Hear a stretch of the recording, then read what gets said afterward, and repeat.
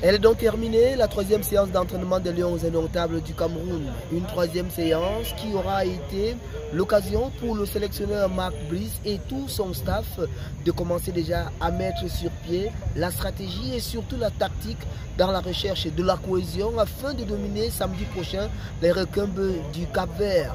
On a assisté à plusieurs schémas. On a également aperçu la séance de tir au but. Question de voir et de travailler la droitesse, la justesse devant les buts de nos euh, différents attaquants et pourquoi pas même les défenseurs. Dans le groupe de haut, l'ambiance est bon enfant, tel que les joueurs qui sont passés devant les hommes et femmes des médias ont pu le confirmer. Comme vous le savez, nous avons, euh, un groupe très très animé. On se connaît, on se connaît depuis. Il y a de l'ambiance dans le groupe, il y a du sourire et c'est le plus important. Et jusqu'à là, tout se passe bien.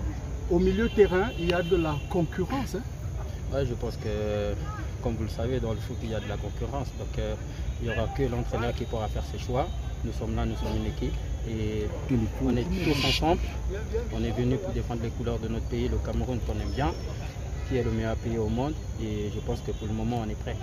Alors, qu'est-ce que vous vous dites, vous, joueurs, par rapport à ce match déjà contre le Cap Donc, euh, tout ce qu'on s'est dit, c'est de bien entamer ce match, d'essayer de, prendre les trois points à la maison et, de voir le, prochain match.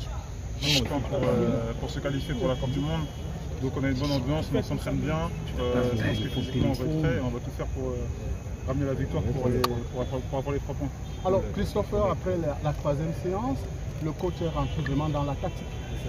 Il est rentré dans la tactique, ouais c'est vrai, parce que on est à, 4 jours du, match, donc il faut commencer à travailler sur l'adversaire pour voir ses forces et ses et euh, avoir toutes les, toutes les chances de notre côté pour battre le Cap euh, samedi.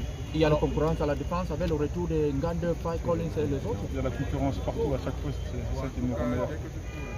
L'ambiance dans le groupe L'ambiance elle est parfaite, on a une très bonne ambiance depuis la Cannes, depuis aussi les sélections avant. Et ça continue euh, comme ça et c'est parfait pour, pour la suite. It's a word in English, Non, English.